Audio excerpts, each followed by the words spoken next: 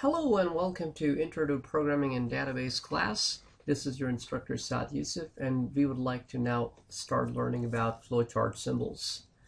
During the week one, we went through the PowerPoint that introduced you to a lot of flowchart symbols, but this week we're going to start implementing some of those details. Starting with the idea of why do we write a program? The program has three main components. It has an input, it has a process and it has an output. In short called IPO.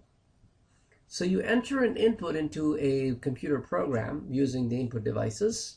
It processes your input and gives you the output using an output device like a monitor or a printer or any of the other output devices. So the main idea of the computer is to take an input, process it, and produces an output. So this week we will going to be looking at how you can go about entering an input into your program, process that input, and generate the output. We're going to start the journey with the output. Before we go ahead and look at the first flowchart, let's have a look at the programming constructs that we're going to be learning in this class. The week number one was pretty much about introduction to programming. This week we're going to start to look at linear or sequential code.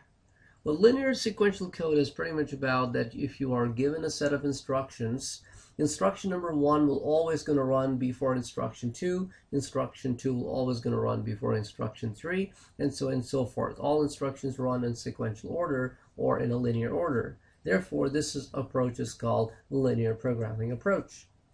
The second approach that you're going to be learning later on in this course is about conditional programming.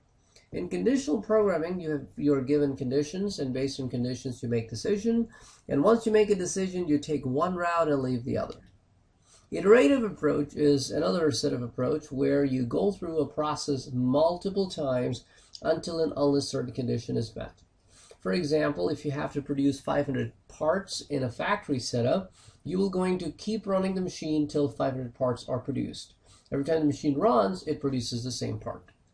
Modular is a fourth kind of approach, and these approaches are used mainly in procedure-oriented programming. And object-oriented programming has borrowed a lot of these constructs over and has built uh, itself on top of these ideas. Modular approach is pretty much like breaking things down into smaller components and then solving those components. So pretty much, for example, if you had to calculate an average, in order to calculate an average, you must first calculate sum.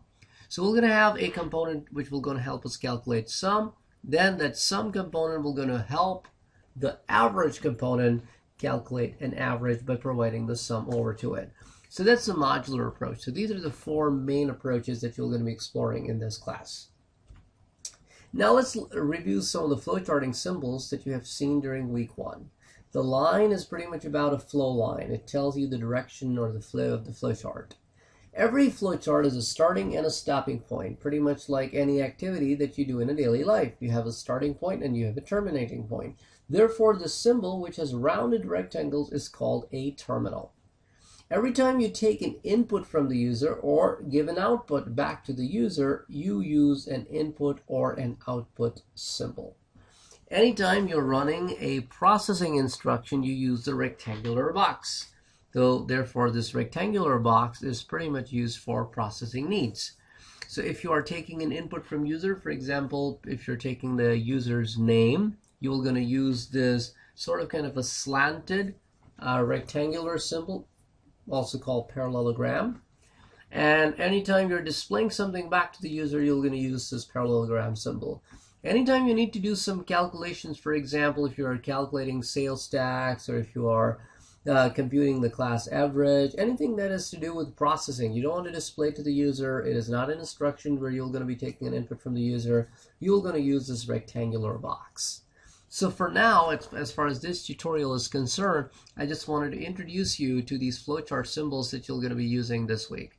Hope you would have enjoyed the tutorial. Catch you in the next one. Thank you for watching.